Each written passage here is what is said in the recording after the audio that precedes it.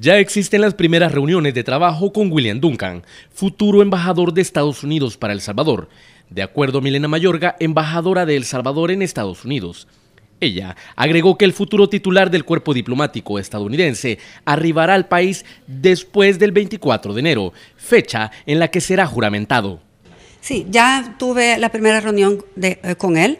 Él estuvo en la Embajada de El Salvador en Washington, D.C., me visitó, estuvimos conversando de todos eh, los temas, los desafíos, eh, poniéndonos de acuerdo en diferentes agendas. En otros temas, Mayorga dijo que recientemente se ha firmado una carta de entendimiento con la Agencia Federal para el Manejo de Emergencias de Estados Unidos, en la cual la Dirección General de Protección Civil será fortalecida aunque no detalló de qué manera. La agencia que maneja todos eh, los desastres en Estados Unidos es una agencia federal que firmó con Protección Civil de El Salvador. Esto es, la semana pasada firmamos este memorándum de entendimiento y lo que nos va a permitir es que haya un intercambio de experiencias, capacitación y más tecnología para que nosotros como país podamos también prevenir los desastres.